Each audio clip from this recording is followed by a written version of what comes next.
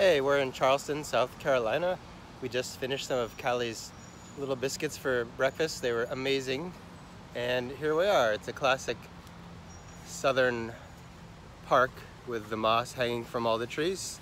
It's warm and a little rainy out today.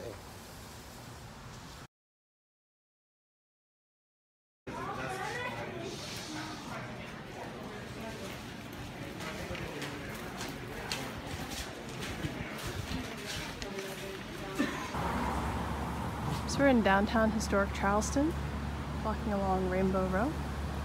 Beautiful homes really on either side.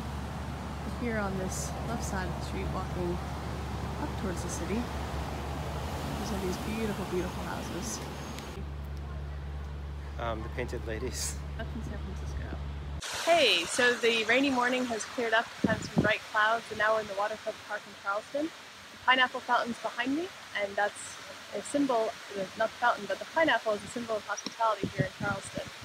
Behind us is the river, and in the distance you can see USS Yorktown CV-10, and then way out, kind of near where that ship is, a little bit past is where Fort Sumter, where the first shot of the Civil War was fired from a cannon. And if you go to Richmond, to Trafalgar Ironworks, you can see where those cannons were made.